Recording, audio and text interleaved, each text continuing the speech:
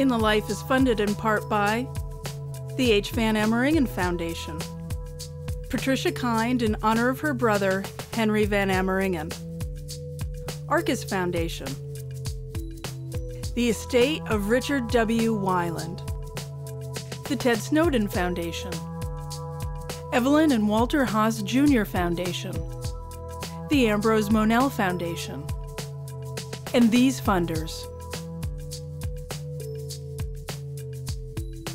And by the annual support of In the Life members like you. Children are coming out earlier and earlier. But the institutions meant to serve our young people aren't always ready or trained to accept kids for who they are or who they might become. LGBT youth are being targeted for expulsion, suspension, police arrest, and detention. Tonight on In the Life, the challenges for LGBT youth entering the juvenile justice system. How are kids, advocates, and judges fixing a broken system? Every child needs love. Every child needs to feel wanted. And we find out how policing gender affects the lives of LGBT youth struggling to define themselves. So when I started going to school wearing makeup and stuff like that, like what would people think? What would they say?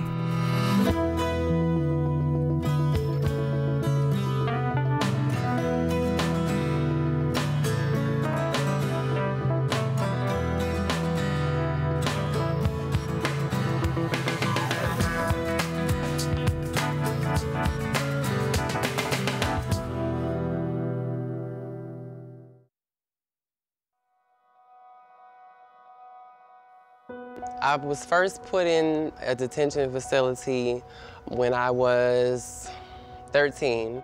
I was on probation at the time already because my mom put me on it. And so the officer, school officer came, put me in handcuffs, and I was like, oh, crap. The first time I was arrested was when I was 15.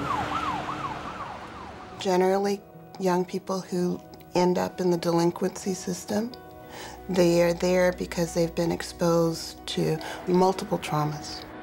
LGBT youth could be facing rejection at home from their families, maybe being harassed at school because of their identity, or maybe they were picked up and profiled by the police because of who they are. If we know about the reasons that youth are doing things, we could help. But for the most part, I think these youth are very invisible and are not talking about what happens.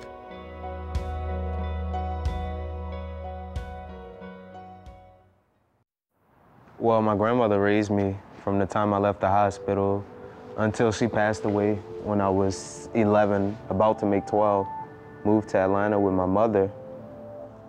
I stayed in trouble in school for not doing my work and not paying attention, talking back to the teachers.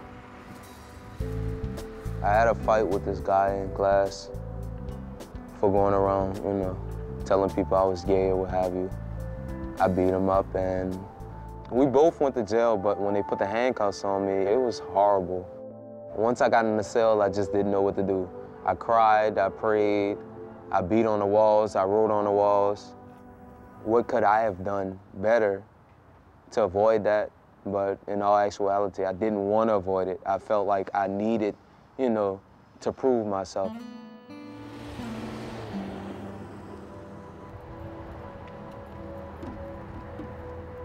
I coordinate a project for lesbian, gay, bisexual, and transgender youth who are in the juvenile justice system.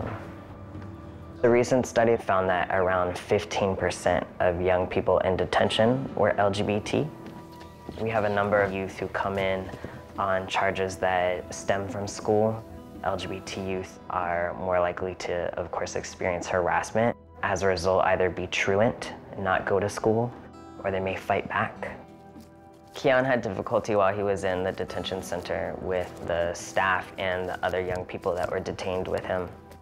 When he was released, he went right back to the same alternative school that he had been attending before he had been arrested. And he ended up just having additional difficulty which kind of explains the sort of cycle that sometimes will happen with young people going through the system uh, and then right back into the same conditions that sent them there to begin with. A recent study from the Journal of Pediatrics, which is very groundbreaking, found that LGB youth are being targeted for expulsion, suspension, um, and other types of school sanctions, as well as police arrest and detention at higher rates than young people who are not LGB. There are far more young people who are out in public and less closeted about their status. And because of that, I found that there's all kinds of institutional push against that. It becomes a challenge for the adults and the authority figures that have to deal with these young people. There are a number of things that cause LGBT youth to be disproportionately represented in juvenile facilities. They are much more often charged with incidents in school. They are much more frequently arrested for sexual behavior that heterosexual youth are not arrested for, or because they are living on the street and they have to resort to crime.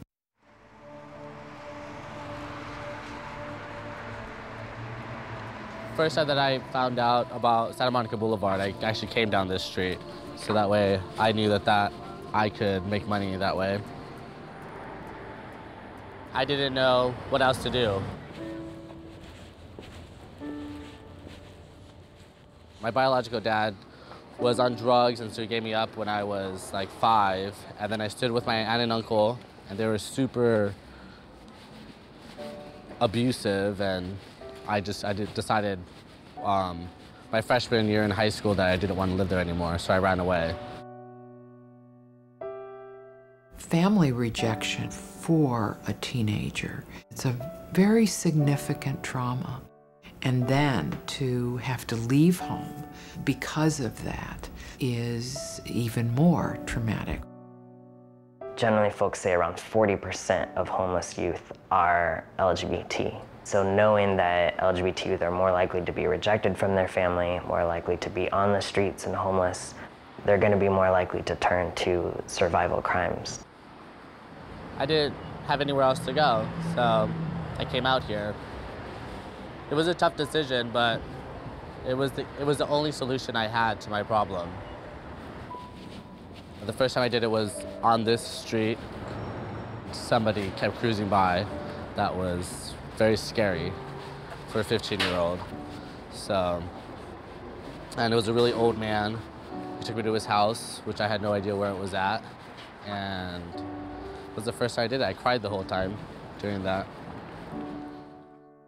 The loneliness and the lack of self esteem that stem from the poor relationships that they may have with their parents just leads to uh, more out of home placements for these youth. And because of their being out of their family home, it kind of sets them up for problems later in life.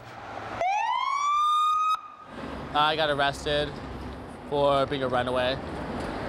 They put me in the tank for a couple days because I wouldn't tell them my name because I didn't want them to know who I was.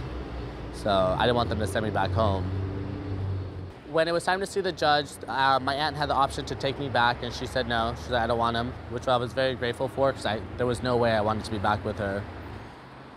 LGBT youth are more often detained by the court if a parent doesn't show up to take them home.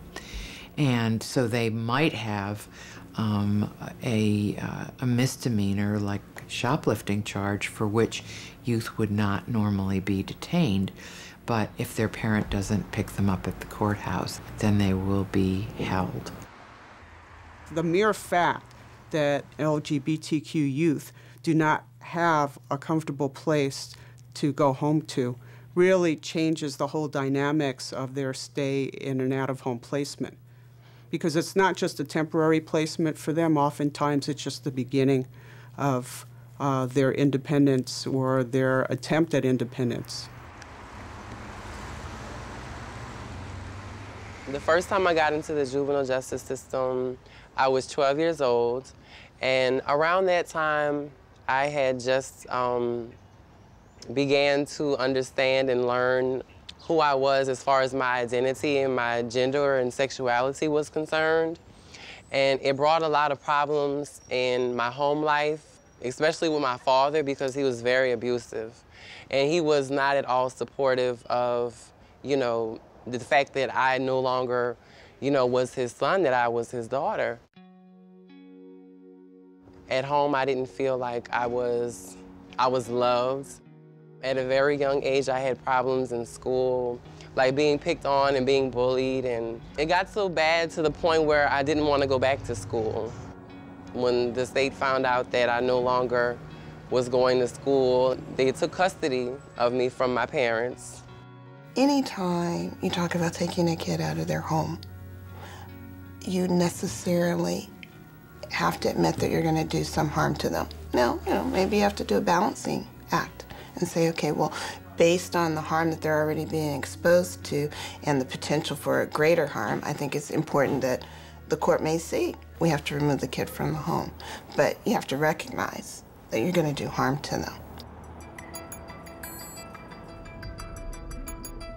Lily was referred into family court when she was young. She was placed in a group home, and the group home was not at all equipped to uh, work with LGBT young people.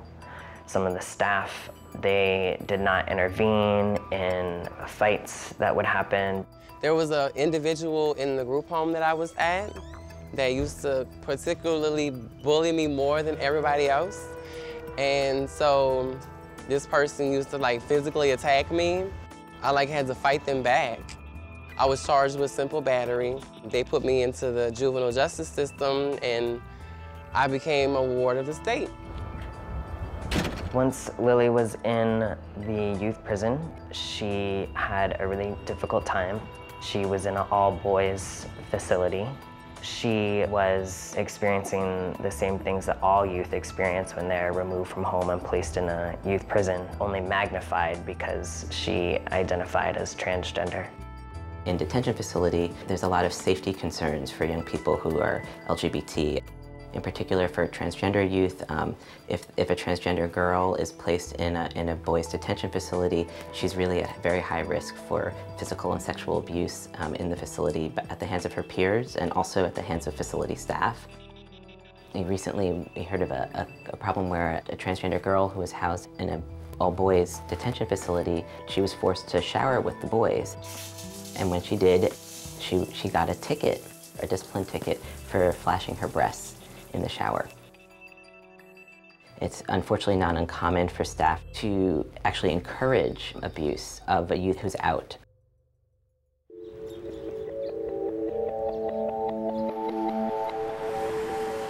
The case that the ACLU of Hawaii brought was the first case of its kind ever in the country to challenge the conditions of confinement for children who are or who are perceived to be lesbian, gay, bisexual, and transgender. We brought the case on behalf of three individual kids. There was RG, who is a woman who identifies as a lesbian. There is CP, who is a male to female transgender girl. And there was JD, who was a boy that was perceived by staff and other wards to be gay. These kids were subjected to unchecked harassment, relentless abuse and discrimination, not only by the other wards, but by the staff themselves. they would talk to these young kids about their religious views and telling these kids that being gay was wrong and a sin and it was against God and that they were going to hell. And this is, you know, talking to kids who are religious themselves. We got a very frantic call from a public defender that one of her kids, her clients, had been subjected to very serious physical assaults. This was a kid who had other wards pantomiming anal rape. He had semen rubbed in his face. And then when he wrote a complaint, the response was that they were going to put him in isolation. And they kept him isolated for six days. And never once did they address with any of the wards or the staff who had seen this happening that this was inappropriate behavior. There was one particular officer who, when he was testifying, he was talking about uh, one of the girls, RG, and he had been asked if she had been discriminated against or harassed as far as he had seen. And his answer with a completely straight face, and I think really genuinely, was, no, no, I mean, we have to get on her for that butchie action that goes on. But no, no, no, she hasn't been discriminated against or harassed. And I think that was also the, I think it was like that aha moment for everybody in the courtroom, including the judge. Ultimately, what Judge Seabright ruled was that the state of Hawaii had failed its constitutional duty by failing to have any policies or procedures whatsoever that were addressed towards eliminating discrimination, abuse, and harassment. The state of Hawaii was the first state to have a policy specifically directed towards the treatment of lesbian, gay, bisexual, transgender kids. And we were fortunate because we have been able to serve as a role model for other states who started to look at their own juvenile justice populations and to ask whether this sort of rampant abuse was happening in their state. Every child needs love. Every child needs nurturance. Every child needs to feel wanted. And when an LGBTQ youth doesn't feel that, um, ends up dropping out of school, feeling suicidal, um, getting arrested, and then finding themselves in the criminal justice system. Uh, it, it's just a consequence of not being treated like a human being. This is not about special treatment or special rights. It's about equal treatment. It's about ensuring that LGBT young people are safe. We have been working with a number of facilities, some of the short-term detention centers, may actually be passing an LGBT policy in the future. We're hopeful for that.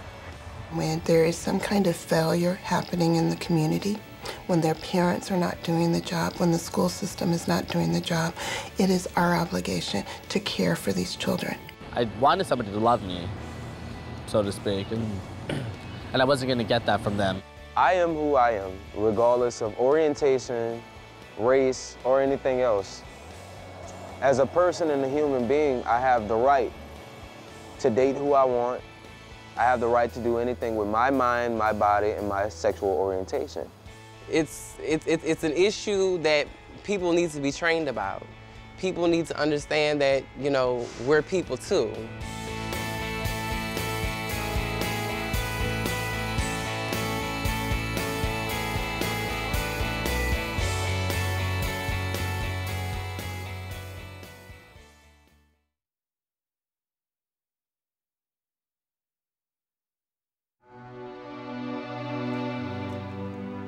Came out to my mom when I was 11 or 10. She asked me, How do I know? I told her, How do you know you're straight? She was like, Because I love men. I was like, Well, I feel the same way. When I found out, I, I was hurt. I didn't know how to accept it. It's okay for anybody else, but my son is my son. She just didn't want to believe it. Like, so she just brushed everything off. And so when I started going to school wearing makeup and stuff like that, my clothes was getting tighter. It would be easier for me, you know, if he lives up to my standards and and you know just follow simple rules, you know, and you know we can get over this hurdle.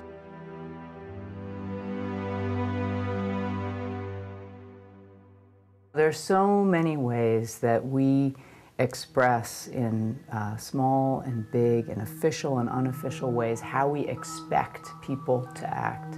Women have babies, guys go off to war. We had very distinct gender roles. You wear this, you wear that. It's all a construct, you know, the, the idea that people are supposed to behave in certain ways because of their gender. That's made up. I've heard the term gender policing. Um, basically, it's when a person or a group of people decide that someone else's gender needs to come more in line with what the police are thinking. It's been going on forever, ever since there's been gender. It used to be that so many gendered expectations were expressed in law. There were legal restrictions on what women could do, what women could wear, um, and a lot of unofficial uh, ideas about what was ladylike and what wasn't. We've passed the point where many of these things are a matter of law, but they live on in our culture in ways that can be very destructive. My friends and I went to this beauty supply store and we were just trying on wigs. She's like, oh my gosh, girl, you look like a diva. So Um, we bought the wig. I went out like that at nighttime when my mother was at work because I know she wasn't going to let me go out like that. Maybe it was stereotypes that I myself had, I don't know, but um, I was afraid for him, afraid for him on many levels. A lot of times, parents, they worry that the child's gonna get hurt, that they're uh, gonna be made fun of, and so they try to intervene behaviorally and change the child or help them to see ways of fitting in out of love. I didn't want to get a phone call, well, your son, you know, was beat up, he's dead, you know? The way he wears his hair, the way he carries himself, it definitely draws attention on him. One Friday, I was considering wearing this shirt, these jeans, and maybe these boots. When I started going to school wearing makeup and stuff like that, of course, thoughts was going through my head. Like, what would people think? What would they say? How would they act? There are many moments in any given day where an individual might be reminded that they're doing something wrong in terms of their gender. I mean, I think people do it subconsciously. I think you'll, you know, if a woman is wearing a hyper masculine outfit or a man is wearing a hyper feminine outfit, I think you'll get looks. It might be when you try to walk into a public restroom. It might be waiting for a bus or on a subway platform when someone chooses to say something to you. It might be for a student, it might be in the lunchroom or in the hallway or from the person sitting at the desk next to you. Of course, there was those boys, the older boys, like you're effing faggot and stuff like that. I tried to brush it off, but I couldn't because they were like so aggressive and they always wanted to fight. One time, a student came in the classroom. He looked at me with a nasty look on his face. He just kept going on saying that I need more on my face, that he was going to put it there. One time, we went to art and he said that he was to slash my throat and knock my brains out, something like that, he said to me. And I told the teacher, the teacher told me to write a statement. The next week, he told everybody that he was going to F me up. When we went out to lunch, he came up to me. The whole school formed a circle around us. And people were pushing him into me until a student like really pushed him and I guess he felt scared because I looked like I was gonna hit him. So as soon as he punched me in the chest, I defended myself. I punched him three times in the face. Um, I knocked him unconscious. So when the principal called me to tell me that I had to pick up my son at uh, the 71st precinct because he had been arrested, it came as a shock to me. I didn't know that he was being bullied. I didn't know that he was being threatened. They basically told my mother I cannot come back to school for like about a month. Um, I was suspended. I, I, I was very angry because of how my son was treated. He was treated as the criminal. My son is who he is. He presents himself a certain way.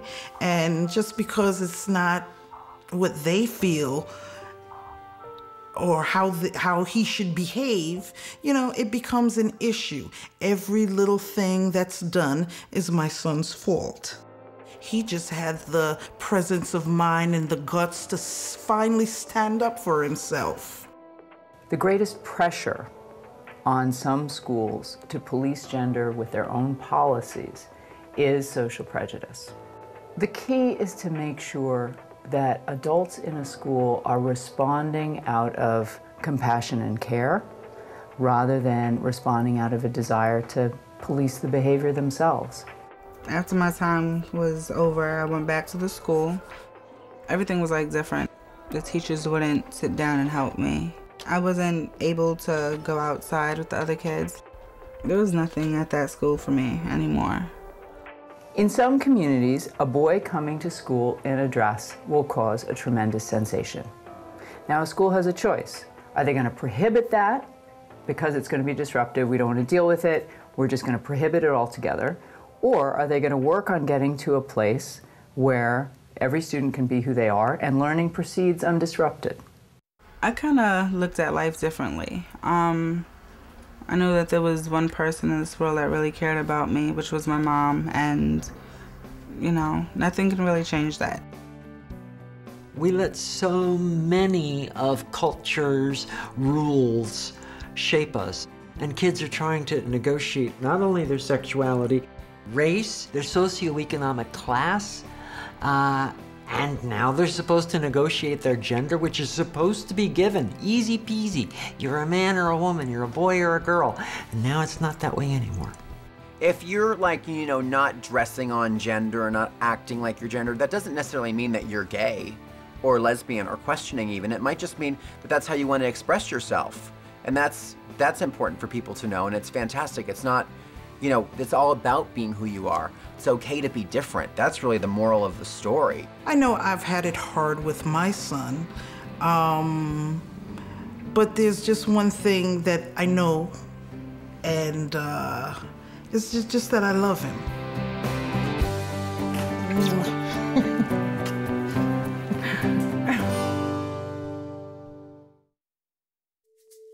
Thank you for watching In the Life. To learn more about the issues in tonight's program, or to tell us your thoughts about the show, text ITL to 69866 on your mobile phone, or visit itlmedia.org. I try to gender police as much as possible when I'm out in the clubs. You, put some pants on. Um, and that's only to the lesbians. I do think it, there is gender policing in the gay community. Going to the clubs and everyone was like buffed and like roided out and like abs for days, and that was the only way to be to be attractive and sexy. That was certainly never my case.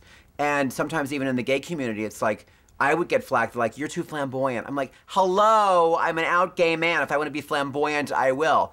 Thank you. In the Life is funded in part by the H. Van Ameringen Foundation. Patricia Kind in honor of her brother, Henry Van Ameringen. Arcus Foundation. The estate of Richard W. Weiland. The Ted Snowden Foundation. Evelyn and Walter Haas Jr. Foundation. The Ambrose Monell Foundation. And these funders. And by the annual support of In the Life members like you.